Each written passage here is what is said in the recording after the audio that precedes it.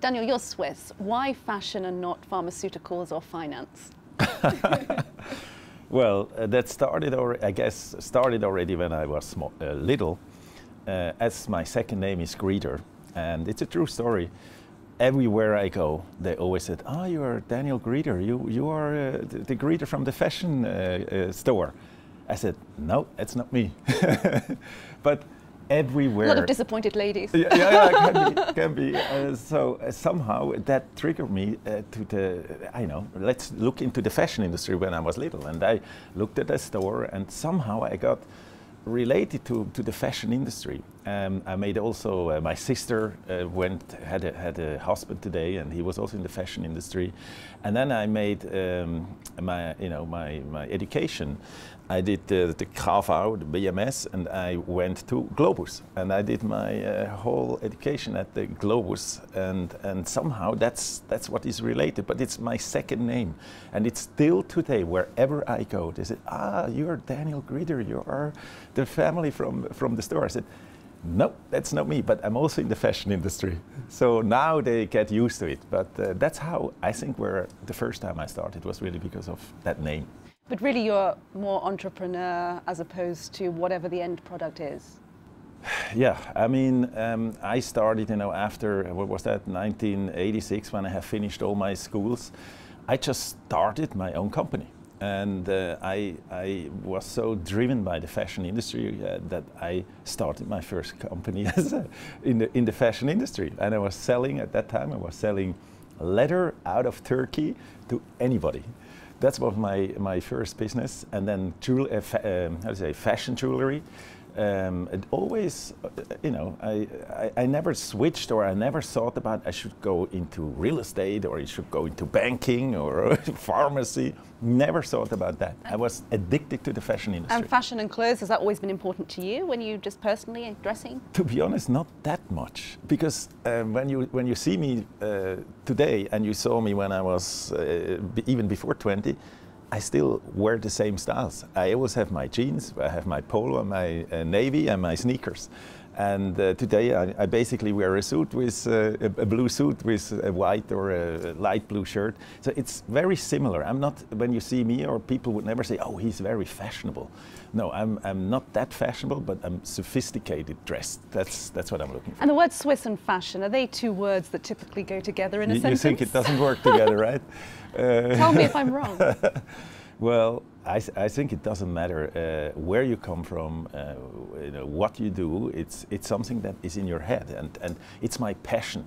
It's, uh, it's, it's not only the fashion is my passion, it's the business, it's the entrepreneurial spirit that I got in those days that drives me. And uh, I think it's, you know, if you come from the States or from England or from France or from Switzerland or from Austria, it's, it's what you as a person, what you want and what you dream of. And I started in the fashion and I continue to be in the fashion. And what's changed, would you say, since the mid 80s to now? What are the biggest changes in the fashion industry? I think there's one big change, and that's speed. I remember when something was fashionable at that time, it was for two years, the fashion. So you had the white socks. at that time, it stayed for two years. Today, the fashion is much faster. It's it's, it's changing every month, uh, actually every week. Uh, so the end consumer is, is, uh, you know, is changing his uh, fashion, he's changing the style uh, in a much regular, um, in, in, a much regular way. And uh, it's, you know, there's more opportunity. So at that time you had, you had a collection that was more or less, you could go for years, similar collection. Today you have to change your collection. But how do you keep up, Daniel? it's a mindset. it's a mindset that uh, you have to get up in the morning and you have to think everything what was good yesterday might be not good enough for tomorrow. And that's what is driving our company. That's driving uh, uh, us uh, to always try to get better tomorrow and never stand still. Always continue to, to go, to, to find ways to, to, be, to be innovative, what the next thing can be. Maybe you can give me an example of one of those innovations. Um, I think today there is oh, there's so much innovation happening in product, but also in technology. uh, in businesses, and I think you always have to be to keep up. Today we talk about digitalization. It's it's it's you know it's this is one part. You have to be you have to get there. You cannot ignore it and say ah, digital is for the young generation. It's our end consumer. Our end consumer is from young to old, and you have to trigger all of them. And um, so that's one in digitalization. But also, if you go to product, today product needs to be much more sustainable. Um, uh, end consumers wants to know where it is produced, what exactly it is out from. They just not, you know, go here and buy. They want to know what they buy. So you're talking about yeah two key areas. I'd like to just uh, delve a bit deeper. First of all, um, in terms of the digitalization. Now, how are you reaching that end consumer today? Via the digital means, social media, apps? What are you doing? Yeah. I think we do a whole palette of, of, uh, uh, of projects that we are looking. When you, when you see that store, I think there's three key elements uh, you see. One is, um, okay, we go now in retail, but I'm, I'm just making an example what's happening in retail. I, I believe in. So first of all, it's traditional retail. Customers wants to come in here, they want to uh, try on the new collection, you know. Like that's still relevant. That's still absolutely relevant. We call it one third is still the old way. The second one is the digitalization. So you see the shoppable walls, you, you see the endless eyes. You go into the changing room and you can have all, uh, you know, you can uh, beam it to the social media. You can ask your friends if they like your, your dress you're wearing this is everything embedded in this, we call it store of the future. And then the third one is this uh, nice place there, that's People's Place, where it is more social, uh, where you socialize, where you can hang out, where you can work, where you can be, where you feel comfortable. So that's the three elements. You have to build, a, a you have to, it's about experience you have in the store. It's about you want to come here not just to buy, you want to come here because you want to be in that store. Maybe you meet your friends here. Uh, maybe you want to meet them here and you want to just have a drink. Maybe you just want to dump your husband there. Yeah, the, exactly. The, the second point you mentioned, the shoppable wall. Tell me more about that. What's that? Well, um, I believe that in the future, uh, the retail space is getting smaller. As you know, it's very expensive. We are here at the Bahnhofstrasse. It's uh, super expensive. And I think the trend is not anymore in these big flagship stores, you know, where you get lost. It's about, you know, having like more the feeling of uh, integrated and, and, and overseeable. And in a smaller stores, you don't have uh, the possibility to have the full collection uh, presented. So I believe when you have a shoppable wall, uh, it's basically the online shop. So on the online shop, you have a lot more opportunities to show the whole collection. So you can, what you see here in the shop, when you go into that shoppable wall, the collection you can see and you can buy is much bigger. You cannot immediately get it here, but within 24 hours, you can either collect it here in the store or we send it to your home. So I here in Zurich could shop for something in your Asia collection or your yes. US collection. Yes. Tell me about those consumer tastes and how they vary between the States, Europe and Asia. Yeah. Um, well, I would say um, the, the, the, main difference between Europe, Europe together with Asia versus the US, uh, Europe and Asia are much more quality driven end consumers. And the US is much more price driven. And that's what you have to adapt your collection to a more price driven uh, end consumer versus a quality driven end consumers. And uh, when you see the collection, they look similar, but in the US it's a bit uh, um, you know, less materials that are expensive or more expensive, but in Europe and in Asia, you can actually go one step further in terms of quality. Just generally, could you say how tastes are changing? For example, I had a friend that moved back to the States from Switzerland. She said she loves to visit Switzerland because everyone seems so dressed up um, on the Bahnhofstrasse versus, say, LA, where everyone's casual and wearing their fitness clothes. Yeah.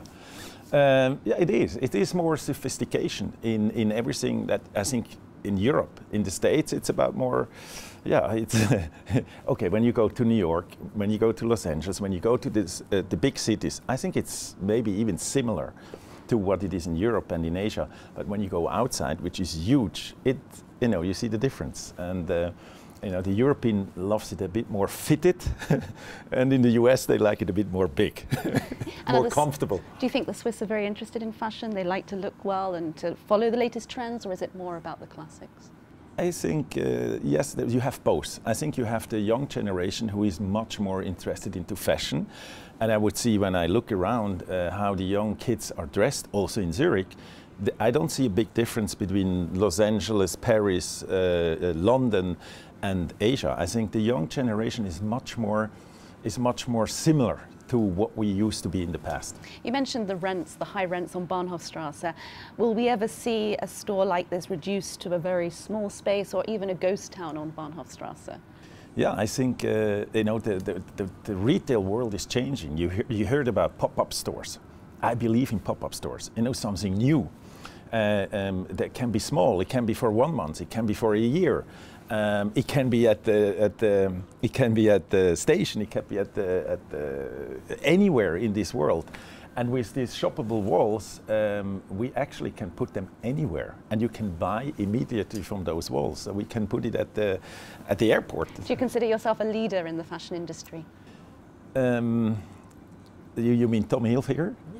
Both I would you say and Tommy Hilfiger. I, I think we are quite advanced, and and I must say that uh, in various areas. First of all, in the in, in I think in speed, in innovation and digitalization, we are quite advanced. But let me also um, summarize why I believe. So we have a clear vision. Uh, we have a clear vision, we have a mission, and we have a purpose of the brand. That is clearly defined in our company, and everybody in our company uh, from knows that vision. And in that vision, there are three pillars. One is uh, um, uh, being consumer centric. So in the past, it was all about the boutiques and what the customers from the boutique, what they buy. Today, it's all about the end consumer. So that's one pillar. The second one is adapt to change, because as you know, and as you see, the world is changing so fast, and we need, as a company, as a big company, we have to adapt to those, to those, to those uh, changes in the world. And the third pillar we have is it's all about product. Product is king. You can have the best name uh, if your product, uh, that's not only in our industry, it's car industry, pharmacy industry, everywhere. If the product isn't good enough, you will not be you will not be successful in the future. So that's the three pillars we have based on our values, how we do business. You revolutionized the catwalk. You had this see now, buy now idea. Yeah. Tell me a little bit about that. Yeah, yeah, that is, is, is uh, that was amazing. And that was, so basically today what you see on the catwalk, in the past you had to wait a season or six months until you were able to buy. We revolutionized this that whatever you see on the catwalk, you can buy immediately at that time, so uh, on online, but also in the in the flagship in all the flagship store around the world. This is a massive transformation of and the have business. competitors followed you in this? Yes, they did, but uh, uh, they already. Uh, it's so complex in terms of operation of supply chain to make that happen, and most of them actually already stepped out because it is very complex. So how do you keep up with that demand and that complexity? I think uh, it's it's uh, it's the team. I have a, I'm, I'm so lucky that I have a very strong team around me, and we have in our company we have a, a you know a mission. It's called make the impossible possible, and we were sitting together and said how can we make it happen because it you know already some started and they stopped, and I said look we we have to make it happen. And actually, when you see that today, we are faster than a Zara or an H&M because normally they went to these fashion shows, they copied, and they were very fast in copying. Within six weeks, they produced it and then had it in the store. So today, we are even faster because whatever they see on, on the stage, we immediately have How in the stores. How do you keep up the level of motivation across the supply chain? How do you use digitalization across the world? Because I assume the production happens everywhere. Yeah, uh, well, that's the, the adapt to change. That's the flexibility you need to keep up, and that's the technology what we have with the digital showroom. It's something uh, that that started out of nothing, and it's actually funny. So you are from you know TV. Actually, the idea I had from the, the weather broadcast. So they uh, hasn't changed much in the last. Uh few decades, I guess. like this? Well, I was watching TV and then I saw, you know, a guy explaining how the cloud is going from west to east and, and the weather and the sun and all that, but all digital. I said, wow, would that be wonderful if we can talk about our collection digitally? And I started to, to, to, tell that to the people, and they said, Daniel, it never works in the fashion industry. You have to, you have to feel it. So we just do now swatches, so they still can feel it, but we can sell, uh, we can show everything digital, which is making everything much more faster. So that's one reason why we have in that supply chain. So you use that to communicate with your yes. producers. And and and actually, we go. You know, this is only one part, uh, but it it makes it speeds up everything. You don't have to do these samples, these massive samples. You don't have to fly them in, so it's more sustainable. So it's cost reduction, space reduction, time reduction, and sustainability. Now we go even a step further, which is not happening in the industry. We go into digital design. So what you can actually expect from us in the, in the coming months is we design digitally, from the digital design, we can do holograms and you can see it, you know, you're, you're, you're, you can see on a hologram how it fits and, and then you have a swatch, you can feel it. So we do it, uh, design it digitally and then we put it into the digital showroom. That means we sell it also digitally. And from there, it goes direct to the vendors. So they can produce direct from the digital showroom. They get all the information, the data, and produce immediately. So with that, the whole supply chain, uh, uh, chain is reducing by minimum half. So we can get, again, speed. It's all about being consum consumer centric because you, as an end consumer, what you see, what you hear, you want to buy tomorrow. And that's what we can offer with our brand. And tell me about the supply chain and, and the fabrics and how that's changing because sustainability is a big yes. thing now and yes. customers want to know where their cotton has been farmed, Absolutely. for example. Yes. Um, especially the new generation. And I think that's that's good. You know, today it's not a question anymore if you want to get, uh, uh, if you want to make the, the, world better. We all have to help to make to make a, a better world. So we're gonna have a more sustainable cotton. Uh, we do much uh, uh less. We use uh, less water uh, for our denims, for example. Uh, we, everything we try to do, we put sustainability in every part of, of the product just to give the customer another reason to buy Tommy. Do you feel a huge pressure in that regard?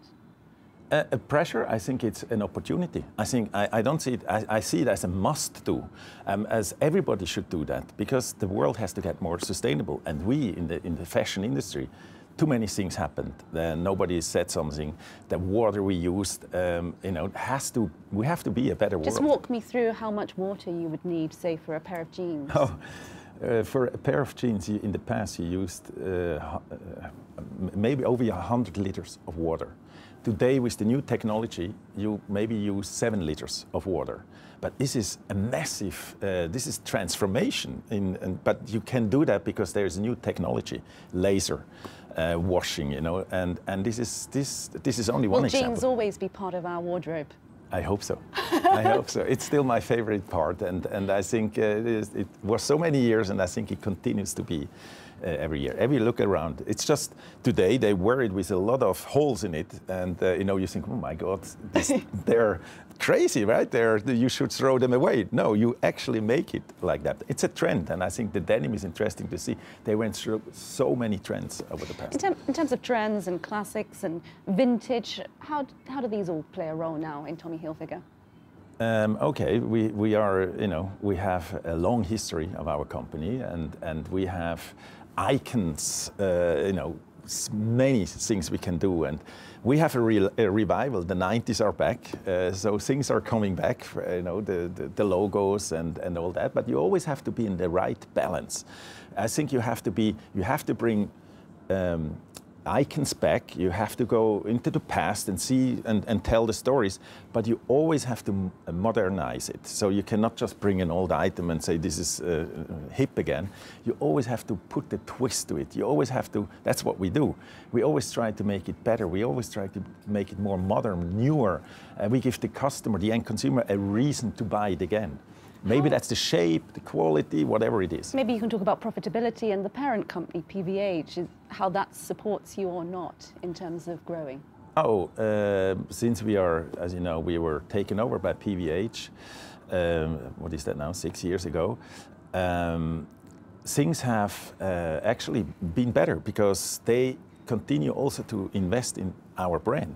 And you know, you have to invest into everything. You cannot just invest into marketing. You have to invest into marketing, that's true, but in digitalization, in product, in servicing, in retail. There's so many areas you you cannot just as a brand stop and lean back and say, oh, it's working. You have to continue to find something new, a, a, a point of difference, um, a, a, new reason. Today, it's in the retail, it's not only about turnover per square meter, it's about engagement per square meter, it's about newness per square meter, it's about uh, happiness per square meter. And that's what we in the fashion industry need to do. And Tommy Hilfiger is still very much part of the company and very um, active in design with some of your global ambassadors. How important are these ambassadors that you have? Oh, um, I think, uh, you know, when you, uh, first of all, yes, Tommy's still in the business. He is a genius and we use him as a consultant. We show him the collection and he gives his input and, um, you know, and. Why is he a genius? So Why do you believe he's a genius? Because he always he, he goes through the, the product, and he finds exactly a point that you say, ah, yes, he's right. That you could have improved, or that you should do better. He he sees it. He's amazing. He it's like when you have a bookkeeper. He looks into the figures and he spots one figure that is wrong. Uh, Tommy can do that on, on clothes. So and, and he does it in a very nice way. So now um, with our celebrities we use, so think about what we have done with Gigi Hadid. We had her two and a half years ago, we started with her. She was a nobody. And within two and a half years, she's now a star. And we made that in collaboration with her. You know, she, she we did the collection with her. Uh, we got a new uh, end consumer, a, a younger end consumer, and that's how we make it. So today she has her own collection, uh, which we helped her to be. She is a she's a supermodel, and and so that really worked. But now out. you use uh, um, uh, someone who's known, Lewis Hamilton. Yeah. So, so that, that's, you, that's he doesn't need help, I guess. no, no. Actually, he came. To, it was his idea. He came to us and he said, Daniel, can you do something similar? What you have done with Gigi? Can you do that with me? And I thought, okay, that might be actually a good idea. So I discussed with the team. And what we, you know, we were really pushing over the past two and a half years the women's wear business. And now we want to do a similar way, uh, always with a new twist. We want to do that with menswear. And Lewis is a perfect ambassador. He has the same values as we are. He has the same drive. And I think he just is the right person for the next, for the, a new uh, generation that helps us to get a new end consumer. And you know, we, we, he's known, that's true, but he never expected that he is going to be in the fashion industry. And uh, you know, he, he asked me, can you, can, can you help me to get into the fashion industry? Maybe uh, when I stop racing, maybe I can do once my own brand. Like Gigi has now her own brand, uh, you know, she, he can also have his own uh, brand. And I thought, that's a wonderful idea, let's try. Do you still need traditional marketing these days, or can you do away with it? Well, I think uh, you, you, know it's like the store. Uh, uh, one third is still traditional. I think also um, a part of uh, marketing should always be still traditional because nothing is only changing into into the digital area or online or social media, there is still some magazines where you have to put some papers. There's still billboards that go up. So I think you always have to find the right balance and, and you should not go from one extreme to the other. You should always innovate. You should always go a step further, but you should never completely forget the tail end. You, you have to shift all into in, uh, forward and to the, the, the next level. But you cannot forget about the rest immediately, step by step, inch by inch. Daniel, thank you very much for your time. Thank you, man. It was a pleasure. Thank you.